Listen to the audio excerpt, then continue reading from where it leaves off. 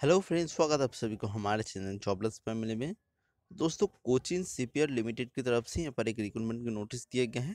तो यहाँ पर प्रोजेक्ट असिस्टेंट पदों के लिए यहाँ पर जो है रिक्रूटमेंट का नोटिस दिया गया है। तो यहाँ पर इन सारे ट्रेडों में आप लोगों से यहाँ पर नोटिस दिया गया है। तो सबसे पहले यहाँ पर मैकेनिकल के लिए बोला गया कि आप लोग को फिफ्टी यहाँ पर वैकेंसी रखा गया, जिसके लिए आप लोग को थ्री ईयर डिप्लोमा होना होगा इन मैकेनिकल इंजीनियरिंग के ऊपर, वो सिक्सटी परसेंट मार्क्स के साथ।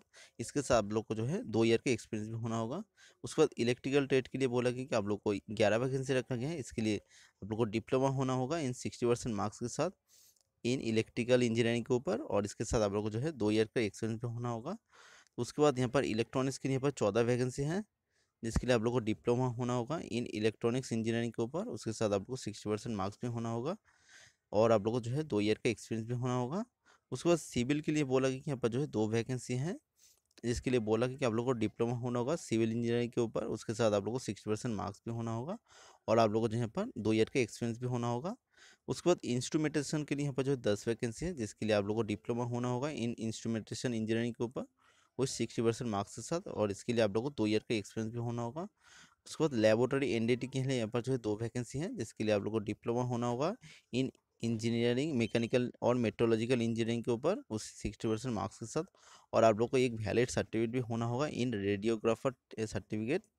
Radiographer testing level one issued by the Bhabha atomic research centre और इसके साथ आप लोग को यहाँ पर दो ईयर का आप लोग को एक्सपीरियंस भी होना होगा।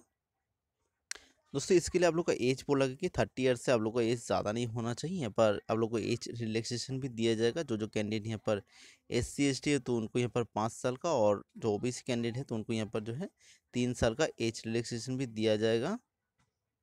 तो इसके लिए आप लोग को एक एप्लीकेशन फ़ीस देना होगा, यहाँ पर सौ रुपये का एक एप्लीकेशन फ़ीस आप लोग को देना होगा। तो यहाँ पर जो जो candidate S C S T P W D है तो उनको यहाँ पर कोई भी एप्लीकेशन फ़ीस देना नहीं पड़ेगा। दोस्तों इसके लिए आप लोग जो है ऑनलाइन एप्लीकेशन करना होगा। यहाँ पर जो वेबसाइट दिया गया है W W W dot coaching C B R dot com तो इस वेबसाइट पर आकर आप लोगों को यहाँ पर ऑनलाइन एप्लीकेशन करना होगा। दोस्तों यहाँ पर ऑनलाइन एप्लीकेशन का लास्ट डेट दिया गया है twenty September two thousand nineteen तो इसके अंदर आप लोगों को यहाँ पर ऑनलाइन एप्लीकेशन कर देना होगा। दोस्तों एक छोटी सी इन्फॉर्मेशन आप लोग के साथ शेयर करनी थी। कैसा लगा वीडियो, अब हमें ज़रूर बताइए कमेंट सेक्शन में। वीडियो अगर अच्छा लगे तो लाइक कर दीजिएगा, जो लोग हैं बोलो चैनल को ज़रूर सब्सक्राइब कर लीजिएगा। सो मिलते हैं नेक्स्ट वीडियो में, तब तक के लिए बाय।